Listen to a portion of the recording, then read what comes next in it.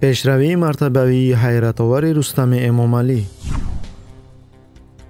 муҳоҷирони беҳимоя барои хадамотҳои махсуси русия зоғи аълоянд раиси шаҳри душанбе писари эмомалӣ раҳмон рустами эмомалӣ ваколатномаи намояндаи халқро гирифт ва дар интихоботи маҷлиси шаҳрӣ ғалаба кард раиси бисту панҷуми ҳавзаи интихоботӣ абдулло холиқов гуфт ки гӯё ба рустами эмомалӣ 84 фоиз интихобкунандагон овоз доданд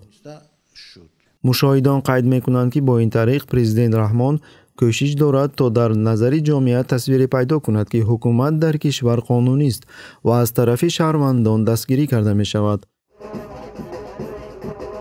инчунин пешбинии пешравии мартабавии рустами эмомалӣ низ гуфта мешавад. Ақидае мавҷуд аст ки дар ояндаи наздик писари раҳмон раиси маҷлиси миллии маҷлиси олии тоҷикистон хоҳад шуд ва бо ин баъд аз президент дуюмин одам дар кишвар мегардад.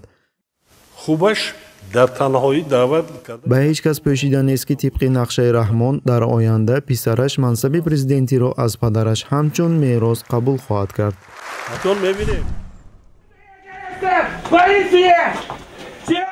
муҳоҷирони меҳнатӣ аз осиёи миёна боз ба ҳадафи сохторҳои қудратии русия дучор шуданд пас аз таркишӣ ки дар метрои санкт петербург рух дод дар аксарияти шаҳрҳои русия як қатор рейдҳо ва айбдоркунии беасос нисбати муҳоҷирони меҳнатӣ ба амал омад. Дар ин асно васоити ахбори омма низ барои айбдоркунии муҳоҷирони меҳнатӣ дар таркиш бо тӯҳмат иштироки фаъол варзиданд якбора пас аз таркишӣ ки дар санкт петербург рух дод дар тамоми кишварҳои русия таъқиби муҳоҷирони меҳнатӣ бо ҷурми беасос дар таркиши метро алоқадорӣ дар ҷиноятҳои дигар шурӯъ гардид. Ҳамин тавр дар вилояти кемеровски русия шаш нафар шаҳрвандони тоҷикистон бо айби иштирок дар ҳаракатҳои исломӣ дастгир шуданд ки аз онҳо адабиётҳои исломӣ ёфт гардид бо айби алоқадорӣ дар амалиёти террористии метрои санкт петербург се нафар гумонбаршудагон дастгир шуданд ки ду нафари онҳо шаҳрвандони ӯзбекистон ва як нафар шаҳрванди тоҷикистон мебошад.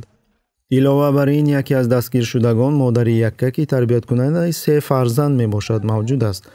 инак сохторҳои қудратии русия бо айбҳои беасос муҳоҷирони меҳнатии беҳимояро ба ҳадаф гирифтанд ва бо тӯҳматҳои беасос ва айбҳои бофташуда онҳоро таъқиб мекунанд ба худи амалиёти террористӣ оем аксарияти хабарнигорони рус ва мутахассисон бар он ақидаанд ки ташкилкунанда худи кремл буда барои садди роҳи эътирозгаронро гирифтанд ки вақтҳои охир дар шаҳрҳои русия паҳн гашт ташкил карда шудааст